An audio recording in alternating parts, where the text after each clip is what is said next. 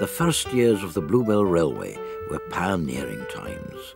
Many people, railway enthusiasts and members of the public alike, thought that the line would be a nine days wonder. Not so. A huge effort by the founder members of the Bluebell Society managed to restore Sheffield Park Station in Sussex to its former late Victorian glory.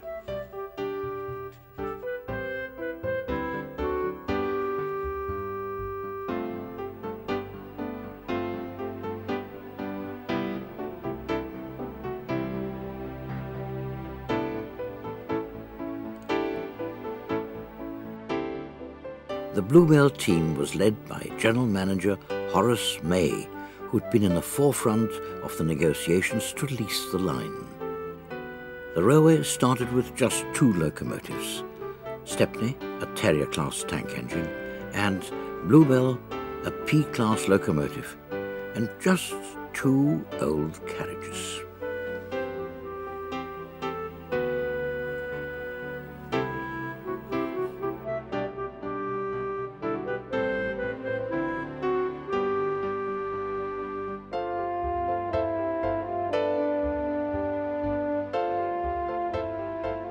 In time, more and more visitors arrived to marvel at the miracle in Sussex.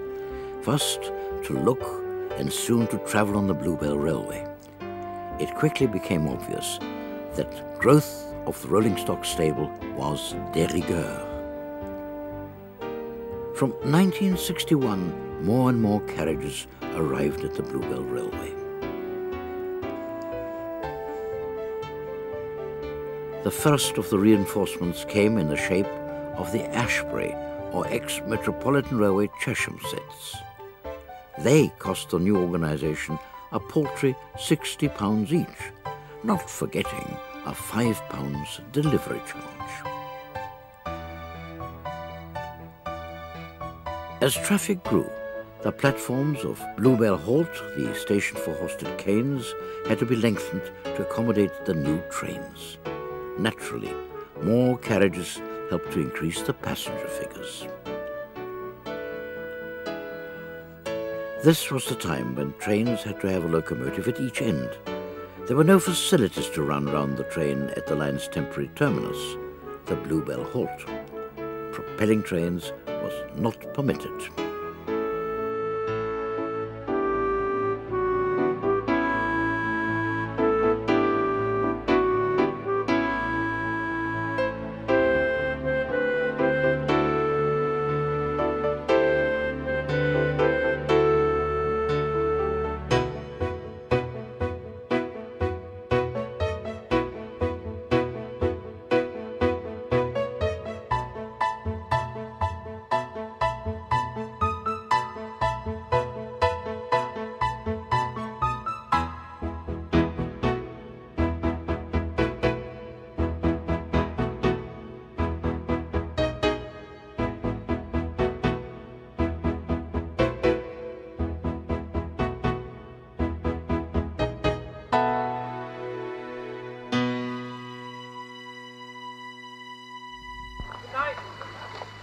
Greenway. Edge of the motor. Good old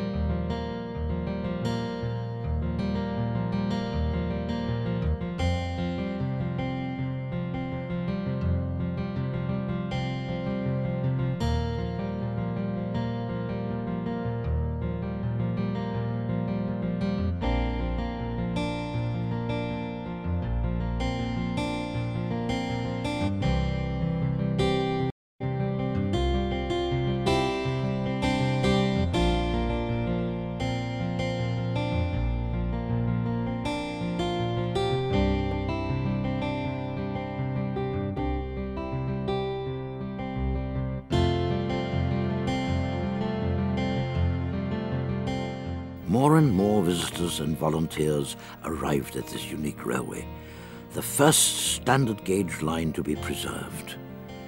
They enjoyed the gentle beauty of the Sussex scenery and experienced the pleasures of travelling in the times of yore.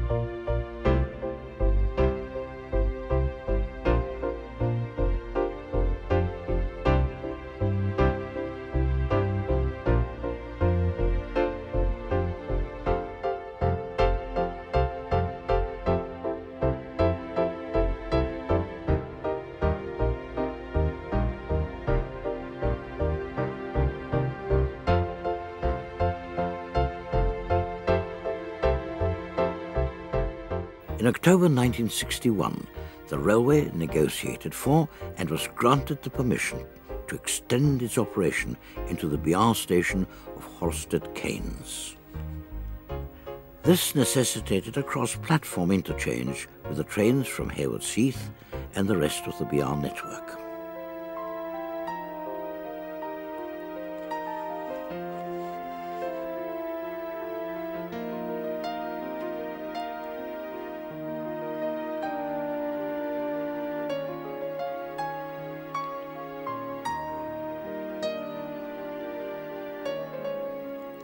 British Rail staff were always on hand to ensure that all was well. A British Rail pilotman had to travel on the Bluebell locomotive for the short distance between Bluebell Halt and Horsted Keynes. Very soon the halt fell into disuse and all Bluebell trains used the single-line platform at Horsted Keynes. In 1962 and 63, through running from London and making proper connections became a possibility. Sadly, 1963 saw the end of rail services on the Ardingly branch to Haywards Heath. As a result, the whole of Horsted Keynes station became Bluebell property.